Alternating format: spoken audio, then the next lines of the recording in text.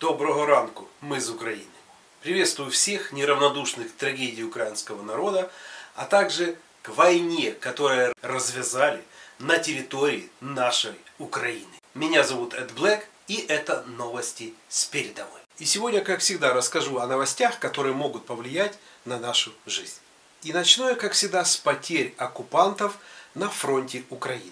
За последние сутки российские военные оккупанты потеряли на территории Украины 630 своих военнослужащих убитыми. А всего же на фронте Украины с 24 февраля погибло 82 710 российских военных.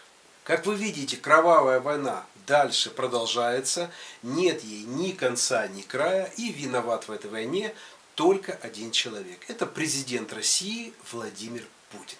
Только он начал войну, и только он может ее остановить.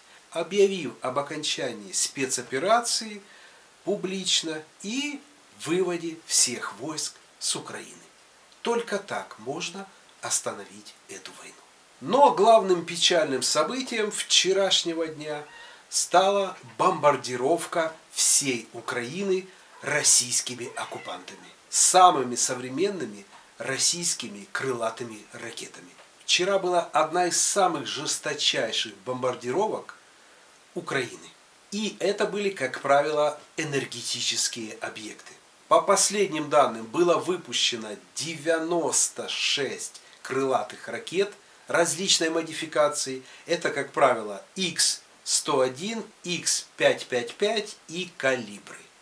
X101 и X55 и 555 были выпущены с Каспийского региона, с Ростовской области, с самолетов, а калибры были выпущены с акватории Черного моря.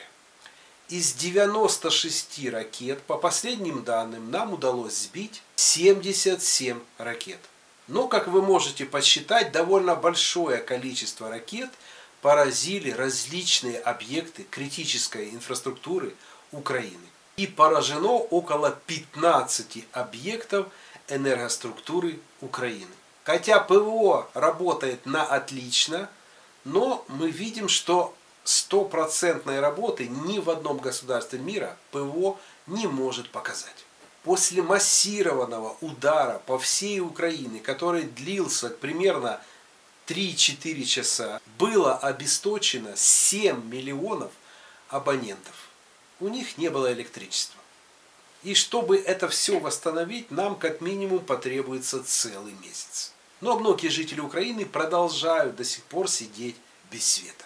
Также в этот момент, во время этого ожесточенного удара крылатыми ракетами, на нас напускали еще дроны – не менее 10 дронов двигались по разным направлениям. И по данным Генштаба и правительства Украины, все дроны Камикадзе были сбиты. Как вы видите, это ответ Путина на мирные предложения президента Украины Владимира Зеленского, которые он огласил в эфире на саммите G20. После этой ожесточенной варварской ракетной атаки все мировое сообщество осудило действия России. И опять начали возникать возгласы и требования объявить российское государство государством-террористом. Ну, а мы продолжаем бороться и будем бороться, пока не освободим всю нашу землю от российских захватчиков.